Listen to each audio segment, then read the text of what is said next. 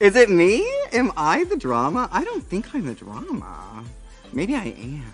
Am I the villain? I don't think I'm the villain. Are you going to f me? I would certainly like to. I know you would. King Julien! I convinced Russia to invade Ukraine! But we cannot move it, move it, if we get drafted. But I want to cause an international crisis. Mod, what the fuck? I really wish I wasn't living through a historical event right now. Breaking news! Russian President Vladimir Putin has declared war on Ukraine. He announced that Russia will be conducting a military operation in the Donbas region of Ukraine. Multiple Ukrainian cities are beginning to report noises of loud explosions going off. The war is officially unfolding.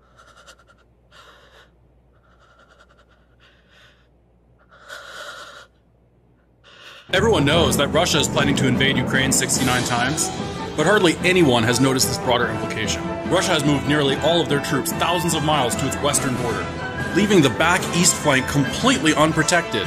This will allow Mongolia to sweep in from the east, taking all of Siberia and re-establishing the Great Khanate. Non-biased and independent sources claim that the Khan will trample all who do not surrender without mercy.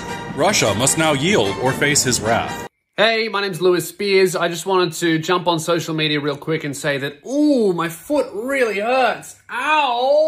Ouch! There's no way that I could, like, run into battle on this foot or, because it's really hurting. I certainly couldn't carry any, any wounded brother or, or it, it hurts so bad I wouldn't even be able to stand in a trench. It just, really, really hurt my foot. And I just wanted to say that publicly on social media on record on the 24th of February 2022 at uh, 8.27 p.m. that, ooh, ouchie, my foot really hurts and, and I just wouldn't be any use in battle and I certainly wouldn't be able to be conscripted. So I just wanted to post that out there, let you know how I'm feeling and oh, ow, sorry, I've got to go. I can barely even film this video. My foot hurts too. I see a lot of people in the liberal media saying that Russia should not invade Ukraine, but I just wanted to give you a little different perspective that you may not have thought about. My father, my brother, and I own a small defense contracting company that specializes in surface to air missiles, and this year's been pretty tough. With Joe Biden ending the war in Afghanistan and Iraq, we've had to cut back. You know, my parents had to cancel their yearly trip to the Red Sea because my dad can't even expense it anymore. He has no reason to go. And I had to downsize my Falcon rookery. And if you've ever seen your staff get picked apart by